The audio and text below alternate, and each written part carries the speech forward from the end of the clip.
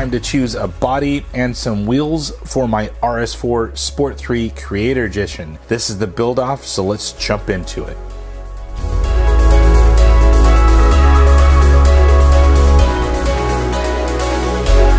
Hey guys, Rich here from the RCNetwork.com, and today it's time to dive in to the Sport 3 Creator Edition build off. So, this is week three where we're going to be going over the body and some wheels that I selected for this car. Now, you won't see the final product till week four, that'll be next week in February, and we'll get a chance to really see the final product and how everyone else did on this build off. So as you see from week two, we have all of the electronics installed. We got some of the supplement items like the body posts and also the front bumper mounted that was included in the kit. Now I haven't installed those upgrades yet. Still kind of waiting for my decision if this is going to be a drift car or a grip car.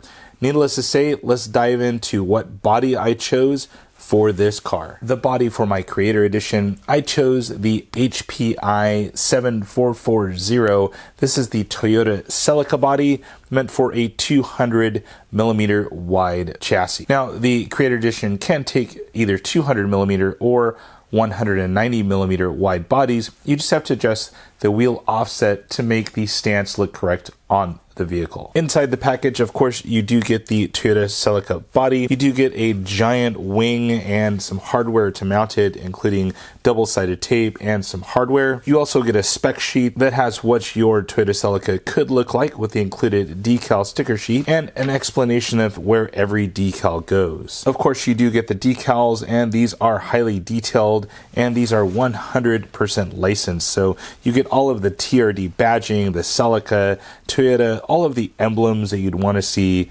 on a real Toyota Celica. And finally, you do get the window masks that are pre-cut. You just have to stick them to the inside of the body. As for the body, it is highly detailed. Now, of course, this is a 100% officially licensed Toyota body. Uh, based on the Toyota Celica. So I wanted something that was either drift worthy or grip worthy. So kind of chose this one. I think it could do almost anything and look legit doing it. So the uh, the lines on this are just absolutely beautiful, and it does look somewhat exotic uh, if you need it to be. So I think this will work out pretty well. Now inside the rear uh, fender well, there is going to be the side pieces of that wing. Once you cut this out, you just cut out the side piece of the wing. You're set to go.